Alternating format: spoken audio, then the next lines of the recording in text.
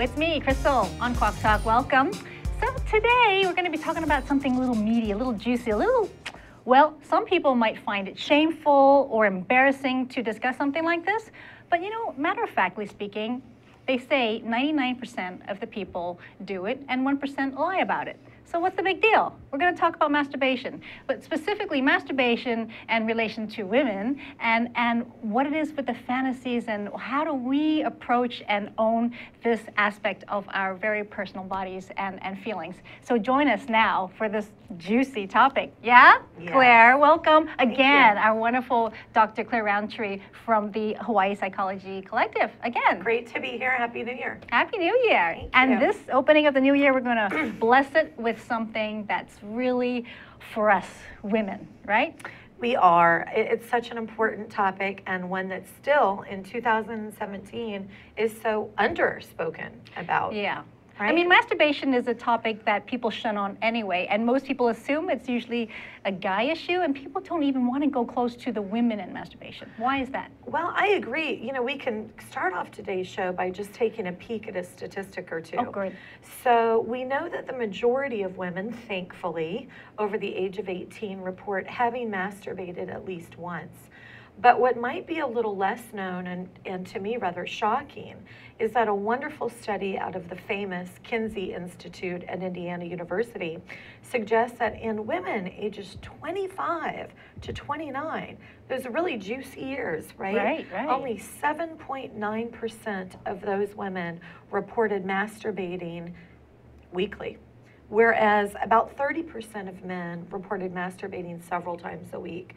So while most of us have, quote, tried it, mm-hmm. many of us don't sustain it, we don't practice it, we don't incorporate it into a part of our lives in the same way that men do. Mm. And in not doing that, we are missing out on so many benefits from self stimulation. There are so many, and we can just, if you'd like, start talking about some of them.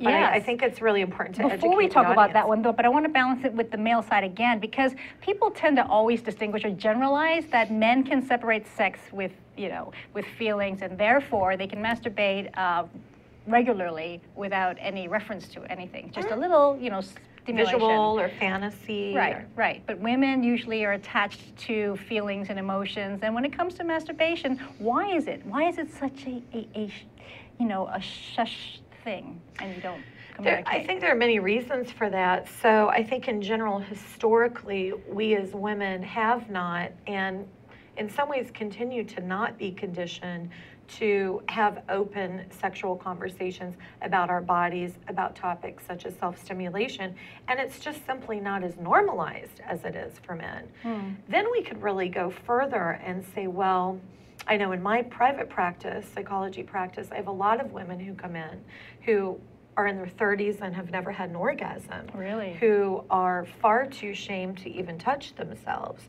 Who, because of familial value systems Okay. or spiritual value Yeah. systems or cultural value systems, that's off limits.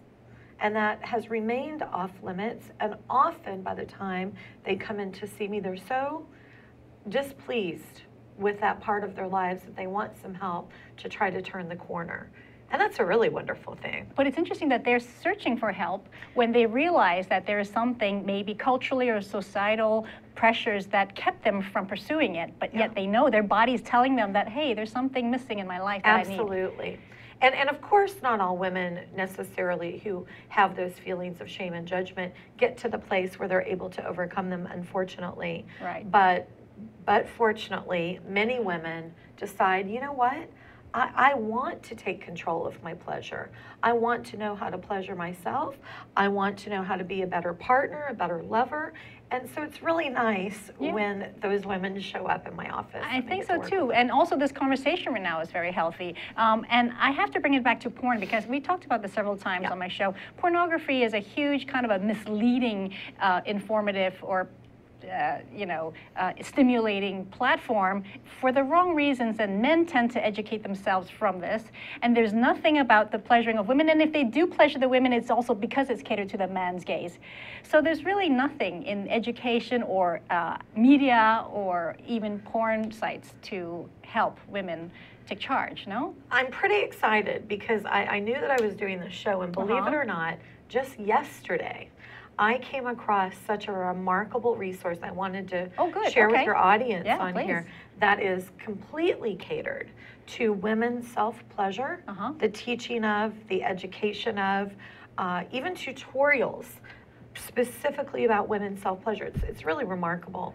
And that resource is called Oh Listen up. My Guys, spelled. O M G.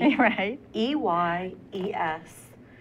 And I, to me, when I uh, found that yesterday, it really broke a barrier for me Yeah. because it really was for me, and I, I do quite a bit of work in this area, the first resource that had purely been dedicated to the normalization, celebration Okay. of women's self pleasure. But to go back to the education aspect of it or information aspect of it, do you think we need to be educated on masturbation? Like boys, they, they just naturally do it. It's just something innate. Nobody teaches them. It's not necessarily because they watch porn. Yeah. So women too, right? You, Well- you learn. Some girls, when they're like three, they're like rocking in their chairs and their mother's like, oh my God, what's she doing? Yeah. Right? That's true. And I think, though, we could compare that with many other things. So, what type of exposure we have or don't have, how into self discovery we are or aren't. Uh, many, many women benefit truly from education about their bodies. True. And it may sound surprising, but it really is a fact that the more women know about where to put your fingers, how to use the mm. sex toy, how to use other objects. I don't care if it's a shower head, an electric toothbrush. Right, All you're of right. these things can bring a woman to orgasm. And so the more education a woman allows herself to have, the more empowered ultimately she will be in terms of her own sexual health. And that's worth everything. Yeah. So let's talk about this empowerment because people don't really associate masturbation with empowerment uh, per se. But if you think about it, it truly, truly is that simple. I mean, you're, you're owning your, your body. You are entitling yourself to a pleasure that nobody's taken away from you. It's so true. There are so many uh, wonderful benefits of self stimulation for women. We can begin by just looking at the simple physiology. Mm, okay. When we self stimulate, we are increasing blood flow. Right. So these wonderful, happy neurochemicals, especially dopamine and oxytocin, start coursing through. And boy, does it feel good. Even if we don't reach orgasm, Uh-huh. the generation of blood flow will help those feel good chemicals really start to arise. Right. And that is, in and of itself, an amazing positive Right. for self stimulation. Uh, it's also fun. Yeah, Once you right. start masturbating as a woman and you know how to bring yourself to orgasm, which with the toys today is not a hard thing to do, Right. in my opinion. Right. Um, it's a very, very empowering feeling, as you said. I'm taking ownership of my body and I'm taking ownership of my pleasure. It helps us sleep better. You know, after we have an orgasm, that's a tension release. So we tend to get a little physically exhausted sometimes. Yeah. So studies have even shown that regular masturbation in women helps women sleep better, which Especially if you're stressed or just kind of right. caught up with a lot of things in life.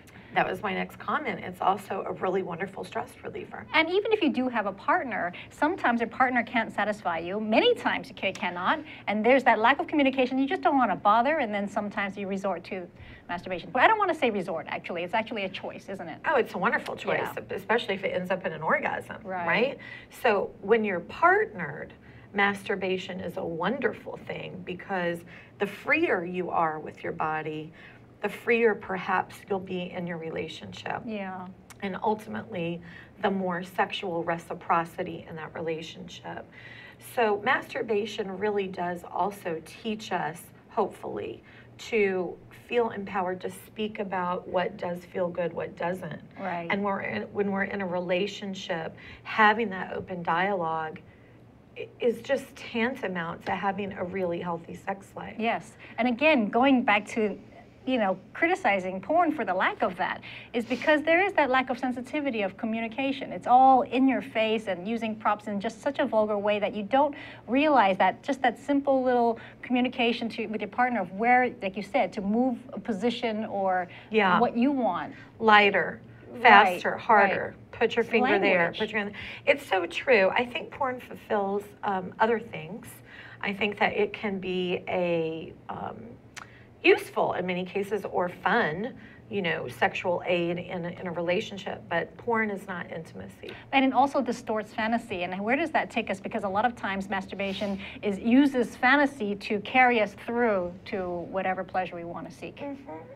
Well, and I would say there's nothing wrong with fantasy. Right, of I would say, not. you know, fantasy is very healthy, whether you're in a relationship, whether you're single, whatever the case may be.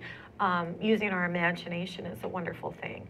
So, first and foremost, though, again, the more we know about ourselves, the more in control we are likely to feel about do I or do I not want to incorporate pornography? Um, what's the relationship sexually I want to have with my partner? Even if we're not partnered, one of the great Right. benefits of regular masturbation is that it kind of it kind of keeps us in the game, if you will. So if we go Huh. long periods of time without sex, there are ramifications of that, The and drought. they're real. and the shrinking of the tunnel or the mist. The shrinking of the tissue, the lack of blood flow, Yeah. uh, the lack of lubrication. I mean, Yeah. these these are very real outcomes of not having sex. So regular masturbation can keep help can keep us healthy, can keep us vaginally healthy, can keep our blood flow going, etc. It also keeps us psychologically, though, in touch with ourselves. So hmm. most of us don't go through the entirety of our lives with a partner. Right. Most of us just don't. Or even if you have a partner, you're not You doing not anything be- with them, so it doesn't You may not be having a lot of sex. No. So knowing again that you're not beholden to, it's it's just a wonderful thing. So you're thinking throughout the years for women, it doesn't matter how old you are or what stage in life you are in. That's masturbation is a healthy thing that you should actively and proactively continue in your life, be a part of your life. Absolutely, because women's sexual health is a is a very important piece of overall health. And I think that that's the message, if, if no other, that I really want to get out today. Is that if a woman has a healthy relationship with her sexuality and the expression of it and pleasuring herself, Yeah. that goes a long way It toward does. overall confidence, self esteem. You're right. But it's just so funny because a lot of older women, they think, okay, after menopause, you know, literally dried up, don't care, don't think it's necessary in their life to have anything sexual. And then again, like you said, it's it's so important in terms of your psychological well-being too that you need to continue that. And of course, ultimately, it is what it is. It's a personal choice. So, but talking about the benefits of maintaining a sexual relationship with yourself throughout the lifespan, uh, I think is an important conversation. And then obviously, individuals will do whatever they feel is best for them. Um, but it certainly does have multiple proven benefits. Right. Well, you know, we're going to recap those benefits when we come back from a quick break. So, again, this conversation, this healthy conversation about masturbation for women. Don't go away. We'll be back continuing this talk.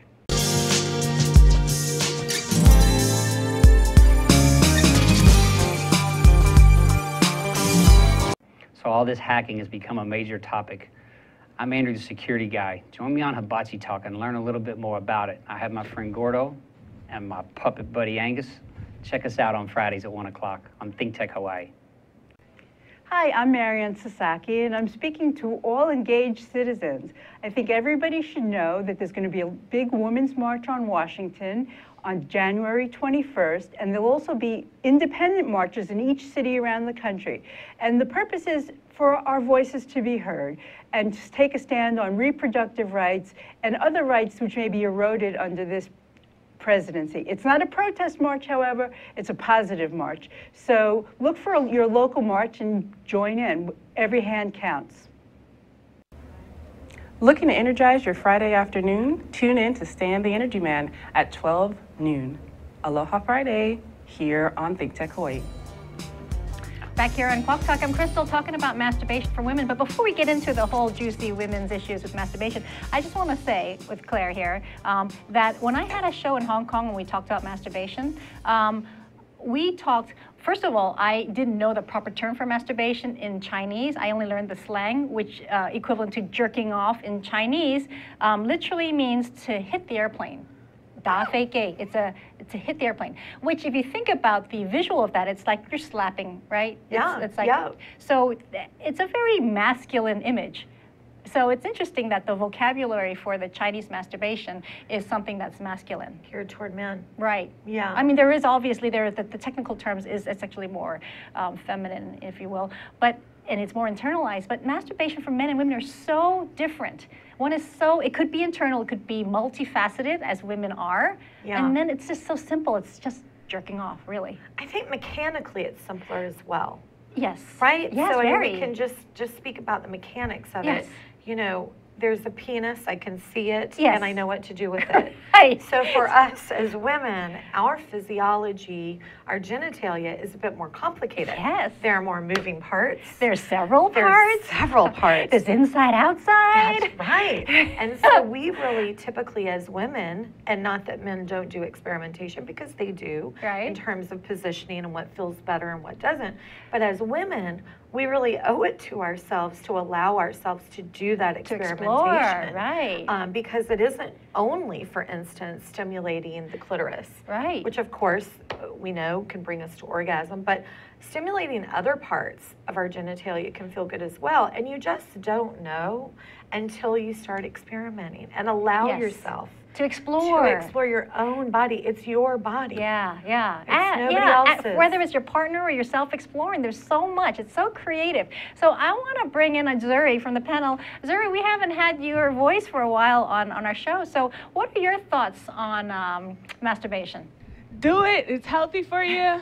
Do it. Do it. It's healthy for you. what do y'all? You know, Nike should take on a masturbation toy and just say, just do Just it. do right? it. I love it. I love it. Well, speaking of toys, I Yeah. mean that's a good segue because you know a lot of women have never never even used a sex toy. They've never used a vibrator, they've Right. never used a dildo. Yeah. There are so many great products out there. You know, in fact, that's one of the reasons we wanted this conversation because I approached this sex shop Yeah. and I wanted them to come in to just kind of show what's out there, but they unfortunately just turned it down maybe because of again shyness or whatever Who didn't want to bring it out. Who knows? Yeah. Yeah, but I would encourage, I would really encourage women and have encouraged women Yeah. to take a trip to their local sex shop. For some women, that may be a little intimidating. Right, right. But it can be a super wonderful educational experience. If that's too intimidating, it's okay because these days it's so easy to just go on the internet and begin educating ourselves about the difference between a vibrator and a dildo, which many women don't know. Right, and then there are these ones that kind of um, satisfy the inside and outside, and they, they look like right. just strange creatures. We've got toys that really hit the G spot. and right, that's a whole different. That's a whole other thing. That's like a Uh-huh. secret thing. I It's a mean, whole different ball of wax, right? And so that's another part of self-exploration for women is finding their G spot, not just their clitoris, but their G spot. So there really, uh, there really truly is a lot of education um, that is available to us Yeah. if we just open ourselves to, you know, just really bring that in so that we can empower ourselves as sexual beings and as healthy beings. Yes, absolutely. But do you think there's any time too young, too early for young adults to be educated on this, or You know, that's a very personal parental call. Mm. I think that for a lot of parents, um, and right now I'm thinking of a very dear friend of mine um, who has a four year old, you know, who happens to be a male. You know, she started educating him when he was about two and a half because she saw him beginning to play seemingly self right? stimulate. Yeah. So I think that can be um, just an obvious marker, right? If you Uh-huh. happen to have a young child and you see them to, you know, engage in Conversation, a little. a little self-stimulation, just age appropriate. And I think that's Would you the encourage it, personally? Uh, I, you know, I'm very heavy on education. Yeah. So I usually will lean on the side of yes, open education. And again, it depends on the kid too. If they're curious Yeah. about life and they are exploring, you might want to encourage Yeah, that conversation yeah. earlier. And the parent will know certainly better than Right. I. But in general, I do believe information is power. Yeah. But culture is a real stigma for a lot of people, and you know, especially like Chinese culture. I have a friend in Taiwan, and her daughter, a very precocious 10 year old would um, actually tell her mother that she feels she wants to pleasure herself. And the, the Taiwanese mother is like, oh my God, I can't believe What I'm am I gonna do? Yes. Yeah, yeah. So Yeah. uh, We some have- people are more sexual than others too. Some people Right? are more, and Or for more a host of reasons. Right, okay, And for a host of reasons. So I think that, for instance, when somebody comes in, when a woman comes in to see me for sexual related issues, as a clinician, I do my very best to make sure I'm taking into consideration the cultural lens, the value Okay. system, the spiritual lens, if it's Right. applicable, uh, past traumatic experiences, that, that can play a very big Ah, factor. So, for example, abuse from a previous. Sure, abuse, early Or- exposure to pornography, I mean, it could be a myriad Okay, of things. okay. So as a clinician, you know, I think that's really our expertise, Yes. is in looking at each person as an individual and, and working with them where they are. But cultural shame is real, uh, religious shame is real. Um, So, outside of the cultural and religious aspects of it, when is masturbation unhealthy? Masturbation becomes unhealthy when it's interfering with an individual's ability to carry out normal daily functions. Okay. And I treat this as well. So now we're really talking about truly a form of sex addiction, and it's a very serious thing. So I see this a lot in conjunction with the use of internet porn. Right, going back to that. yeah. Um, I, I- a lot of it, not always, but mostly. And I think that anytime you're engaging in a behavior where you're doing so much of it that it begins feeling like an obsession, Mhm. and really what that means is you're thinking about it all the time, then you have compulsive action. I have to do it, I have to do it, I have to do it. And you're shirking other important aspects of your life.